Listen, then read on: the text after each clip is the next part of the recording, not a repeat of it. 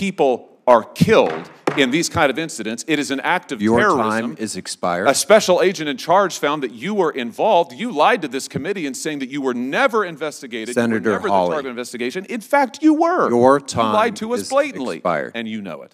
Uh, Director Stone Manning, let me just start with this. When you came before this committee in 2021, this is before I was a member of the committee, you were asked as part of your confirmation whether you'd ever been investigated, arrested, charged by any federal, state, or local law enforcement authority for the violation of any federal, state, or local law, regulation, or ordinance other than a minor traffic offense. We asked that question of all people before the committee. You answered no. Do you stand by that testimony?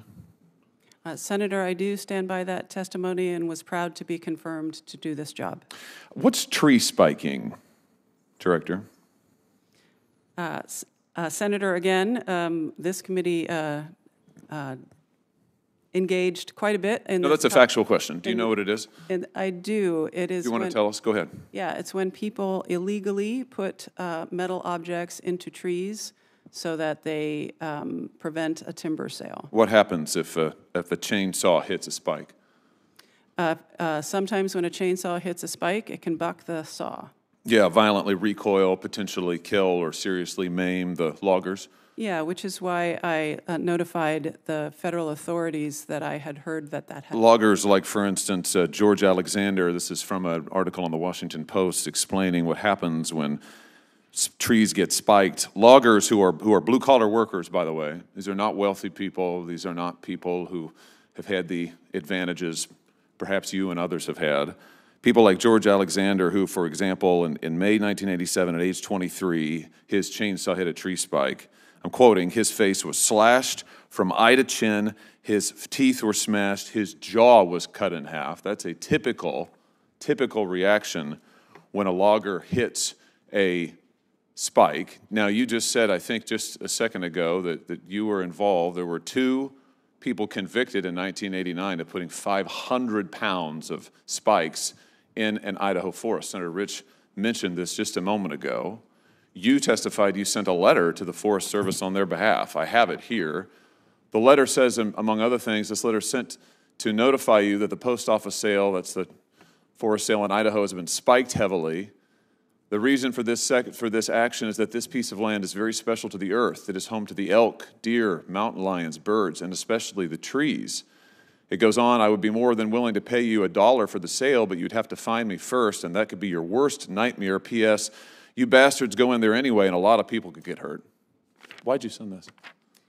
Uh, Senator, as I said at the time, over 30 years ago, a really um, uh, angry and uh, turns out violent person handed me that letter uh, and said, Will you send this to the Forest Service? And you did. Why? I w- uh, what you just uh, talked about in 1987 to a logger, this is 1988, 9. Uh, I understood that people could get hurt. I Why was- didn't you notify the federal authorities? Why, why, why did you send this threatening letter on behalf of these two men who were convicted of I- crimes? I was terrified of them uh, and, uh, and wanted no involvement with them. Was you wanted no involvement, but you sent a letter that says you bastards go in there anyway, and a lot of people could get hurt? Why, why didn't you just contact the FBI or any, anybody, any local authority? Uh, because the uh, because the person who did this act threatened people's lives if they disclosed who did it. Yeah, in fact, you were investigated for being involved, weren't you? Here we have the, a letter sent to this committee from the special agent of the USDA Forest Service, Michael Merkley, who was in charge of the investigation. He says, and he deta- details this in the letter to this committee, that he investigated you for your involvement. He says, and I'm going to quote now, Grand jury subpo- subpoenas were issued for hair samples, handwriting exemplars, fingerprints. These subpoenas were served on persons suspected of being involved, having knowledge of the incident, including Miss Tracy Stone Manning. You've testified you were never investigated ever for anything. Why'd you lie to this committee? Uh, Senator, um,